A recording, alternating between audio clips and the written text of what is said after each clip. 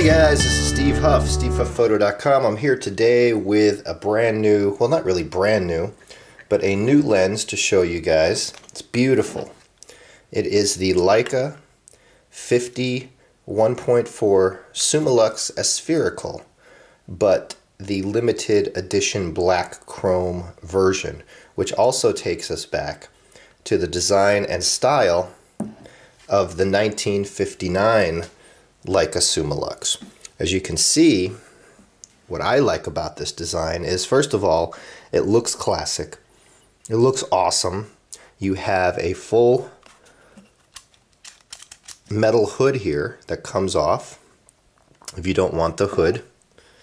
And the difference between this and the standard 50 Summilux is this has a serious heft to it. You can this is this feels much more solid than the standard 50 Lux. It's also a 43 millimeter filter thread compared to the 46 of the standard version. You can see the red uh, print here on the scale. It's a very nice lens. Now the cool thing is this works amazing on the SL, which as you can see there's currently a 50 Summicron attached. Here's a 90 Elmarit, which also works amazingly well on the SL. But what's really cool is I used to have many years ago, I'm talking like the Leica M8 days, I had this exact lens, but at the time they released a special edition, the LHSA edition, the Leica Historical Society edition. Um, today, that lens used, if you can find one, goes for around 7500 The LHSA model that I bought probably, or it was around when the M8 was out, um, I paid 3600 for it and I later on sold it for 8000 because the value of that lens went up. It was a limited edition. It looked just like this one. Same design, same filter size, same everything, except the LHSA came in black paint or chrome. This comes in matte black chrome.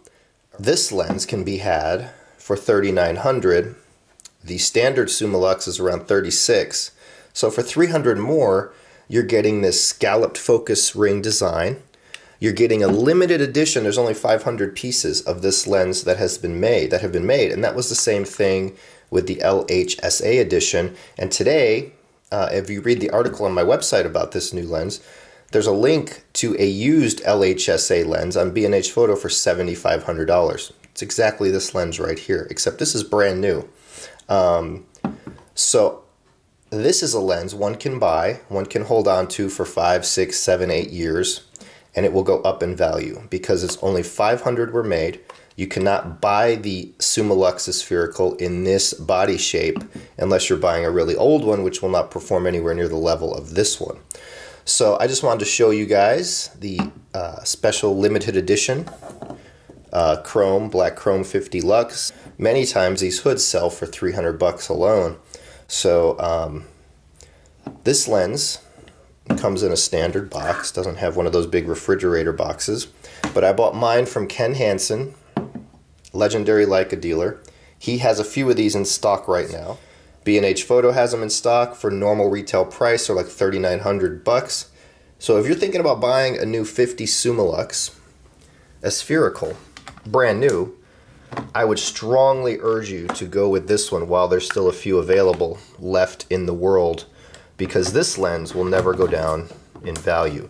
You're not paying an obscene amount of money for it like the 7500 of the LHSA edition while it is still very expensive at 3900 I'm telling you this lens will not go down in value uh, over the long term where a lens like the old 50 Summicron does and will and has, um, because there's nothing limited about this one, but there is with this one. 500 were made.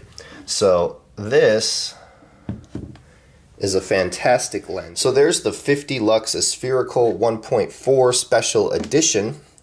Uh, there's the 50 Cron next to it, which is for sale for 1250 bucks. I also have a 90 Elmarit for sale for 1250 bucks. This is the latest version before it was discontinued. Um, and this is an awesome, awesome 90. Um, those are posted on my website at. This is January 2016. Um, so if you're watching this in January of 2021, they are no longer for sale. but anyway, I just wanted to show you guys this 50 Summilux limited edition. It's a beautiful lens. Um, you can see more of it on my website at stevehuffphoto.com. And there's some photos from it, a little more text, basically what I said here.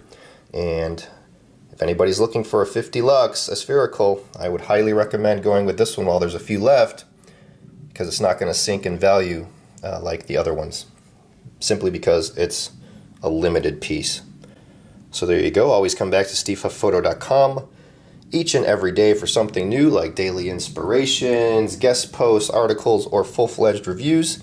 And I will see you there. Bye.